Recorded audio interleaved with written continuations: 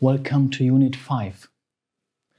Unit 5 deals with formatting output. So far, we have used the simple print statement and we could print different variables, different data types using print. There is a drawback. If you would like to beautify your print output, this is not possible so far. So we need to go a little bit more into details and we show first there is two parameters, sep for separation and end for end, which have a default value in print but could be changed. Then we go to what is called an F string, a formatted string. Within this F string, it is more easy to enter a mix of constants like a text and the content of variables. And using these F strings, you can align these uh, outputs, for example, the numbers, even if they have different number of digits, for example. It's showtime. Let's jump into our notebook. So, what you have seen so far is a print. And you can, for example, see in our first cell, we have two variables x and y. We have uh, a simple output, and you can see, especially in the last one, that we can construct um, an output which consists of several parameters, the x, a string, a y, and so on and so on. So everything looks quite fine. However, it is really cumbersome and error prone to create outputs like this. And it has its limitations. So first, um, to change this situation a little bit, we introduce these two parameters sep for separation and end for end, um, which are have default values within print. So the default values for separation is a blank and default value for end is a line break. You can see this. Separate, sep is actually what is printed between these things in here. So for example, if we have x and times and x is equal to um, 10, then you see there is a space in between. And that's actually what the separator is defining. And the default value is actually a space. And then you see there are three prints and each print is printed in a new line. So there is a line break at the end. And that's actually what is defined by the parameter end, which has a default value line break. But you can override them. Yeah, so if you say, for example, we would like to print out an IP address yeah, consisting of 192.168.1.1, and we do not want to have a blank, a space in between, but we would like to have a separator, this dot, yeah, then you can do so. And accordingly, you can simply delete it by assigning an empty value, an empty string to sep. So let's run these two. You see first, you get this 192.168.1.1. And in the second one, you even if you have three different constants A, B, C, D, E, F, and G, H, I. All these are written in one line, in one row, without a um, delimiter, without a, without a separation um, of a blank. Same could we do with the end. Then the line break would be separated by the value you hand in in here. Let's have a look on another way to format the print output. What you can see here is not a string, but a so-called F string or formatted string literal. Take a look at the documentation behind this link. So this F looks a little bit strange when you look at it as it's the first time, but it simply denotes we have a formatted string in here. Within these formatted strings, you can add variables or even functions. And the value of the variable or the return value of the function is then um, printed out instead of these curly brackets and this x in between.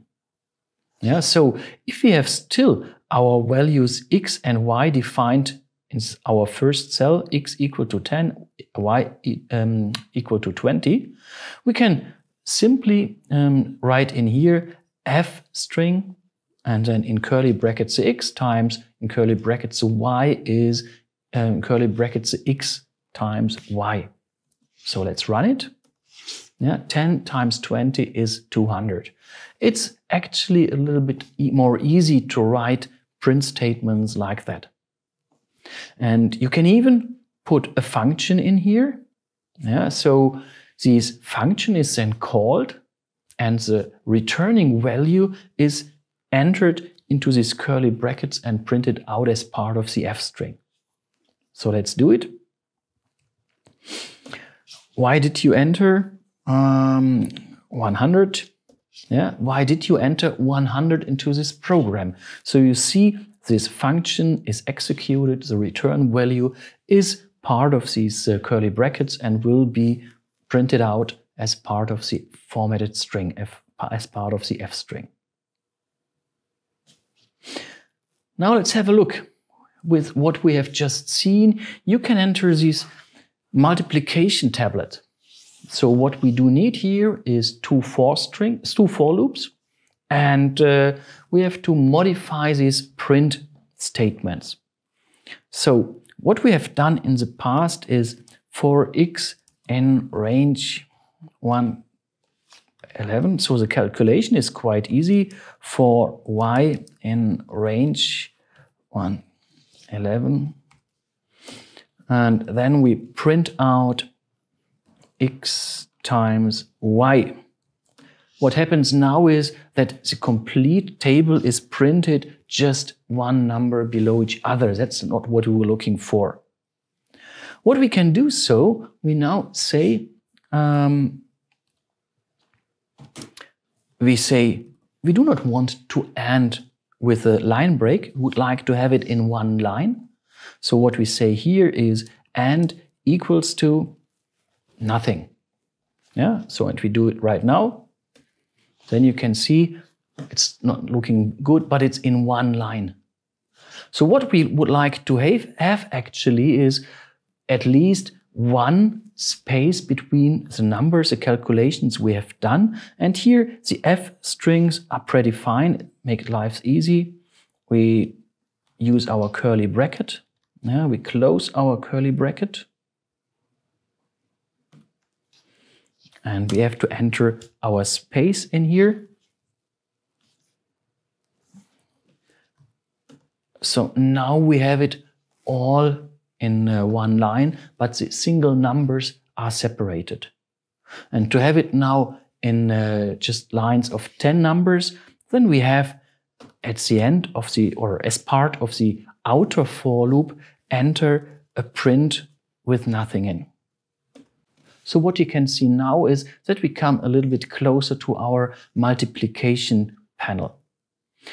It's still not perfect, the numbers are not aligned, but that's what we are tackling right in the next part.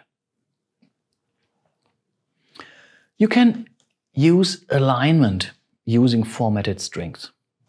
Again, let's have a look at our data. We have a list of tuples, and these tuples are some kind of text, a number, how often this product is actually chosen, and um, the, the price per product. Yeah, and you see we have 12 chairs and uh, each chair is 39.59 euros. Now we would list this and we would like to calculate these totals. Yeah, so what you can see here is now um, this kind of, of uh, formatted string with product numbers and so on and so on. And what we have added right in these um, curly brackets behind this variable product uh, with the index 0 after a colon is 15s, which means s stands for a string, which means it is aligned to the left. And we will always use 15 spaces. So if you do not have 15 spaces, these um, are filled up with empty spaces. The same with 3D. D stands for digit, yeah, and we always use three numbers, three digits.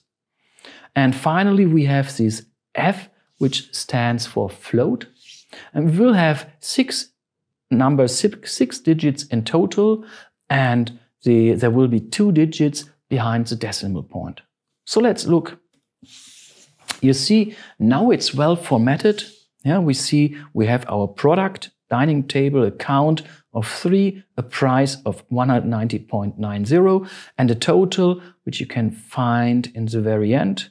Um, product 1 times product with the index 2, and again 6.2 as a formatted file. It is aligned um, to the decimal point.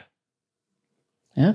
So these F strings do, does, do not only give the possibility to enter in an easy way constants and mix up constant and normal text or variables and, and, and, and text, it offers in addition the possibility to align strings and uh, digits and float uh, digital numbers and floating point numbers to the left, to the right, or to the floating point. So now we can beautify our multiplication table here as well.